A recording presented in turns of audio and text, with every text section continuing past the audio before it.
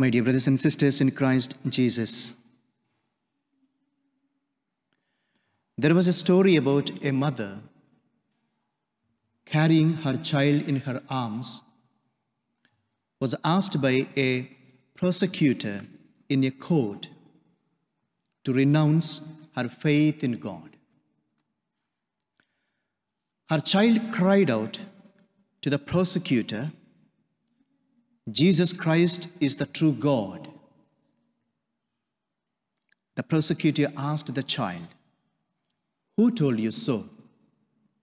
My mother, replied the child. And who told to your mother? asked the prosecutor again. God told her.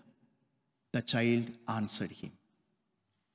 My dear brothers and sisters, in the teachings of the Catholic Church, the parents are the first missionaries, the first catechists, and the first teachers to their children. They get this responsibility of first teachers when their children are baptized. The readings reminds us that God's choice of us was not a product of chance, but a deliberate one.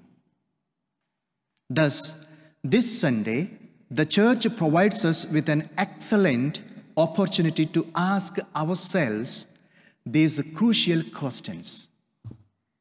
What is God's purpose for choosing me as his disciple or follower? Am I fulfilling this purpose or not? In our first reading, God chose a poor farmer Amos to prophesy in Israel's northern kingdom. God had a purpose for this. He knew there were prophets there. However, they were not his choice because they had compromised their calling. They were corrupt and distracted by materialism. So they no longer delivered justice or spoke of truth.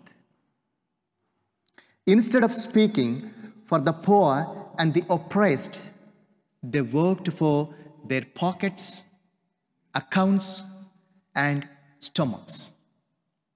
Hence, in their place, God chose Amos. Despite the opposition and challenges he faced from the professional and paid prophets, he fulfilled God's purpose for choosing him. He was not tamed but the corruption or by the corruption and materialism of his time. In our second reading, Paul not only reminds us that God chose us in Christ, he equally reminds us of the reason he chose us. And the reason is to be holy and spotless and to live through love in his presence. That we should become his adopted children. This is the remote purpose of God's choice for each and every one of us.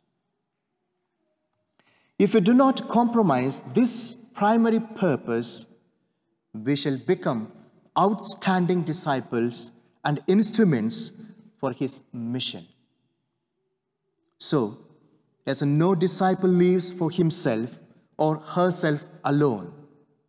And the secondary goal of God's choice of us is to reach out to others. And that is to develop a missionary spirit.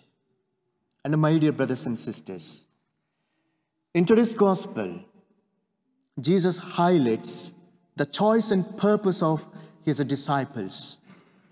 Christ called his disciples and strengthened their faith through his teaching and miracles. In other words, he took time to prepare and nourish them spiritually. Afterward, he sent them out as missionaries to preach to others. That is a mission to their community and the world. Finally, obeying Christ's instruction is a sure means of fulfilling his purpose for choosing us as his disciples. At the same time, neglecting it is the easiest way of losing focus. So we must continually remind ourselves that God chose us for a purpose. So let us try to achieve it. And today, let us ask God to grant us His graces to fulfill His purpose.